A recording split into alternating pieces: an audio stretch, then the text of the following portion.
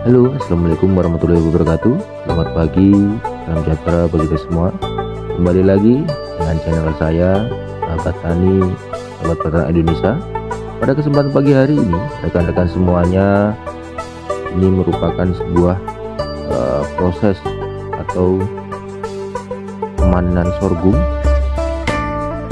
Yang dimanfaatkan limbahnya sebagai pakan ternak. Dan biasanya kami melakukan uh, pemanenan uh, biji sorghum terlebih dahulu.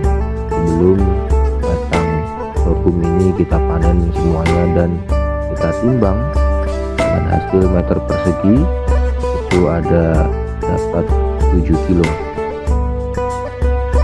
Kemudian kita bisa mengetahui per hektar produksi batang sorghum ini dengan cara yaitu mengalihkan 10 meter persegi dengan 7 kilo per meter persegi. Berarti satu hektar yang mendapatkan 70 ton kali panen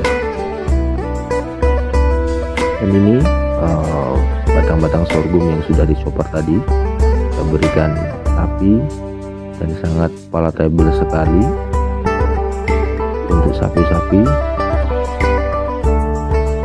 mengemukan maupun sapi-sapi breeding jadi lihat ini sapinya gemuk-gemuk sekali teman-teman rekan-rekan semuanya. Sorghum ini sangat uh, bagus sekali untuk tujuan makan ternak sapi karena mengandung uh, tingginya kadar gula dan bisa menggantikan energinya.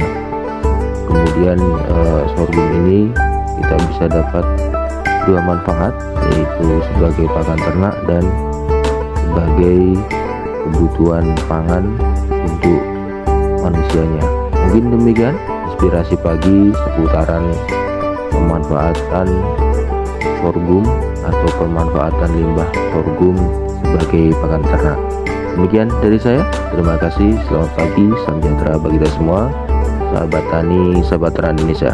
Jangan lupa untuk subscribe, like, share, dan komen agar channel ini bisa berkembang. Terima kasih.